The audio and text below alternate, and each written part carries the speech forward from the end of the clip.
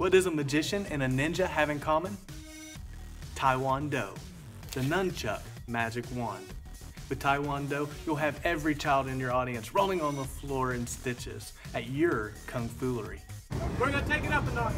We're gonna take it up a notch. Woo! What's up, nunchucks? Here we go.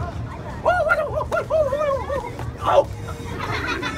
That's not fun. That's not fun. Here we go. Let me switch hands. I was using the wrong hand. I was using the wrong hand. We'll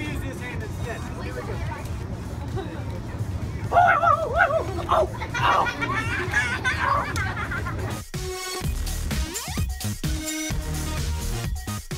every TaeWando, I'm also giving away my personal routine called Banana Split. By cutting, chopping this up. We're gonna chop it up without touching it.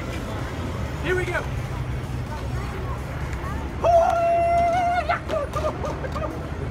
Did you see that? Did you see that? Did you, did you see that? This is a three minute comedy magic routine where you will demonstrate your ninja skills by slicing a banana without ever touching it.